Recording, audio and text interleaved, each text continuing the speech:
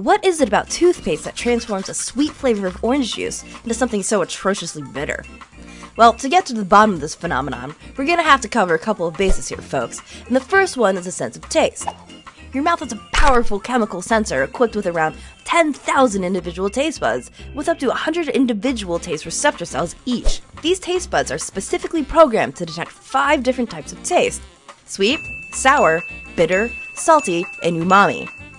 Taste is a chemical matching game of sorts. You see, when you eat a piece of food, it distributes molecules and ions with specific shapes throughout your mouth.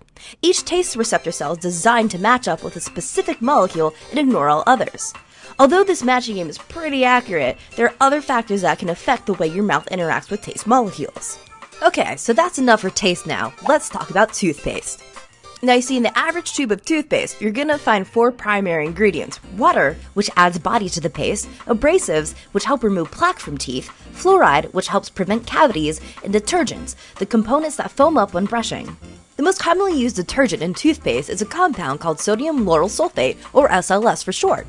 SLS is used in tons of different household products, and although SLS works wonders in producing suds, it has been noted for its strange effect on our mouth's ability to taste. As it turns out, SLS suppresses our sweet receptors and destroys compounds in our mouths, called phospholipids, which inhibit our bitterness receptors. This opens up a clear pathway for bitter molecules to reach your receptors.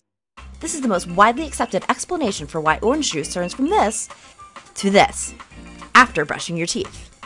Like what you see here? You should probably click that subscribe button. Go ahead, you know you want to. Also, while you're here, check out why beer gets skunked or why bacon smells so good. And while you're at it, come back next week for more chemistry goodness.